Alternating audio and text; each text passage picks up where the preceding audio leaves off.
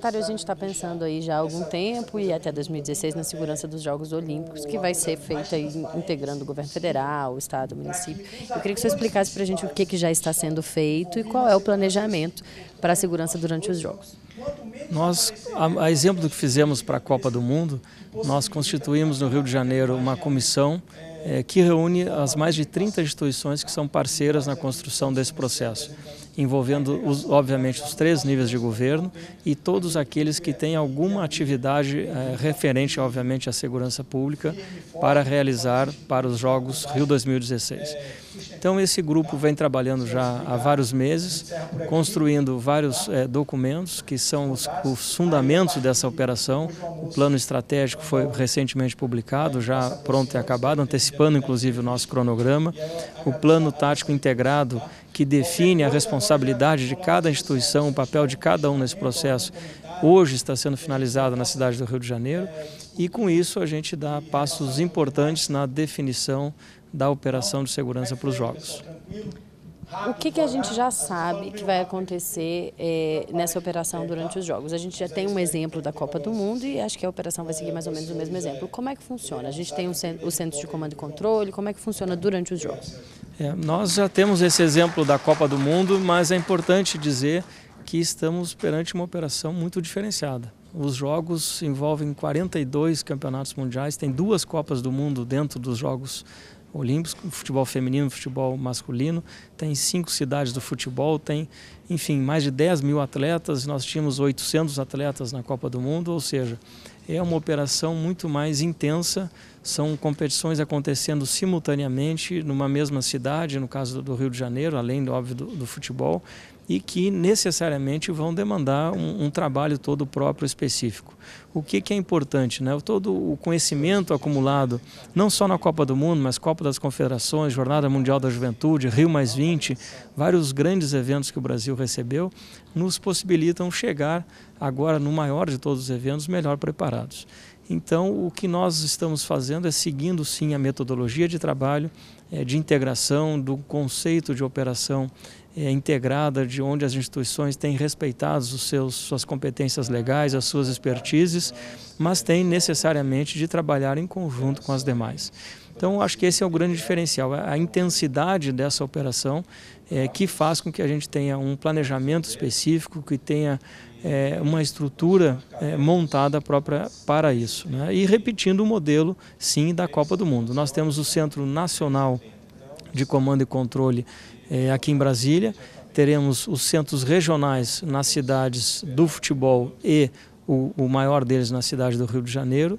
Teremos também os centros setoriais, que correspondem a cada uma das quatro regiões é, da cidade do Rio de Janeiro e em cada instalação existe um ambiente também de coordenação. Ou seja, nós teremos lá do nível operacional, dentro da instalação, fazendo a gestão local do evento, até o nível estratégico aqui em Brasília, é, repassando diretrizes, orientações e difundindo uh, o planejamento, enfim, todo o, o modelo da operação que pretendemos realizar. E como é que são tomadas essas decisões no centro de comando e controle? Que informações chegam até aqui, por exemplo? Esse, a gente vê que tem um telão muito grande. Como é que funciona esse monitoramento dentro dos centros? É, nesses centros nós temos é, muita tecnologia, muita informação e o, e o, que há de mais caro e mais importante para a operação, profissionais preparados e capacitados. Então nós aqui, tanto neste centro quanto nos centros regionais, nós fazemos, a, a, mediante ferramentas específicas, a gestão dos eventos, do dia a dia, do minuto a minuto de cada uma das operações. É, e também recebemos várias informações nos, nos, canais de inteligência de segurança pública e também de vídeo monitoramento. Todas as instalações é, de competição, de treino, de hospedagem é, são vídeo monitoradas. Essas imagens são possíveis de, de ser retransmitidas para esses ambientes e também os dados que recebemos do nosso profissional que está em campo, que está trabalhando, está, rua, está na rua, é, repassando informações em tempo real. Então, é, imagens, dados, informações de inteligência, enfim, de todo o sistema que compõe esse grande é, mosaico de forças em prol da segurança dos jogos. E não são só os locais de jogos, né? É uma operação que envolve aeroportos, que envolve as fronteiras, envolve vários outros setores. Isso é, demonstra a complexidade dessa operação. Nós temos é, locais de competição, nós temos locais de treinamento. Dos 10 mil atletas, ou eles estão, é, enfim, no seu momento de repouso, provavelmente na Vila Olímpica, ou estarão competindo, ou estarão treinando, e alguns até em momentos de lazer. Ou seja, são, para se ter uma ideia, são mais de 1.500 é, deslocamentos diários é, de, de, veículos saindo da Vila Olímpica para os locais de treinamento, de competição, são mais de 30 mil deslocamentos durante todo o período dos Jogos.